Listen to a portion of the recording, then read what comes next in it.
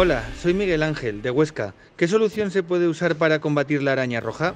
En distintas regiones de la península cada vez es más habitual la presencia de ataques de araña roja en cultivos de maíz. Desde Arcenza recomendamos el uso de Boreal, nuestra bamectina al 1,8% de acción por contacto e ingestión, combatiendo este ácaro cada vez más problemático en el cultivo del maíz. Tú decides Ascenza, porque eres imparable.